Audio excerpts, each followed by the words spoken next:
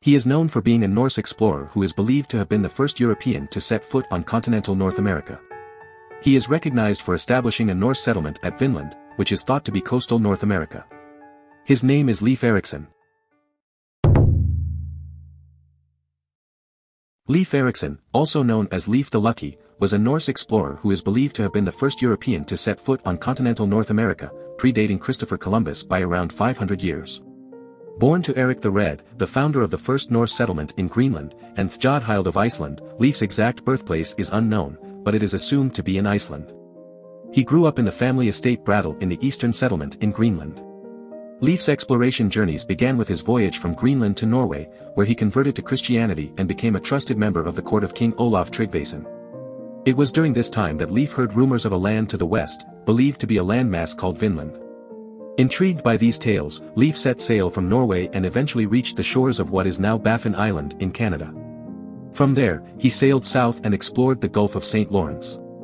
It was during this exploration that Leif is believed to have established a Norse settlement in North America, known as Vinland. Though the exact location of Vinland is still debated, the archaeological site of L'Anse-aux Meadows in Newfoundland, Canada is often associated with Leif's settlement. Leif Erikson's expeditions marked a significant milestone in exploration, as it was the first documented European presence in North America. His journeys have had a profound impact on the world, opening up new possibilities for future explorers and shaping the course of history. Leif, the son of Eric the Red, was born in Iceland, likely in the c. 970s. He grew up in a family with a strong connection to exploration and adventure. His father, Eric, had been banished from Norway and had established the first permanent settlement in Greenland. Leif's upbringing was influenced by his father's tales of distant lands and his own experiences in Greenland. He learned about the exploits of his distant relative, Naddodd, who had discovered Iceland.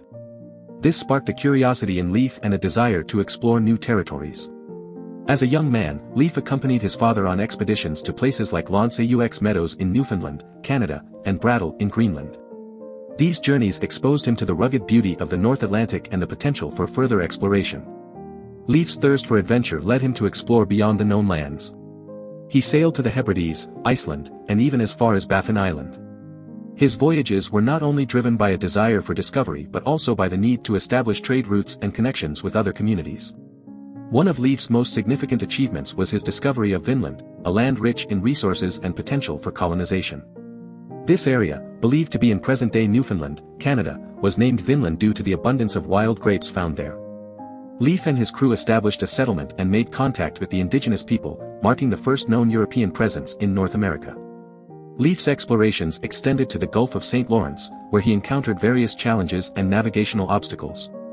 Despite these difficulties, he displayed exceptional leadership and navigational skills, earning him a reputation as a skilled explorer. Leif's journeys not only expanded the knowledge of the North Atlantic region but also paved the way for future explorers. His expeditions laid the foundation for further exploration and colonization of North America by Europeans, shaping the course of history. Leif Erikson's legacy as an intrepid explorer and discoverer of new lands remains an important chapter in the history of exploration. If you want to discover more adventurers on YouTube, make sure to hit that subscribe button for my channel, and don't forget to leave a comment in the section below, telling us which adventurers you'd like us to feature next.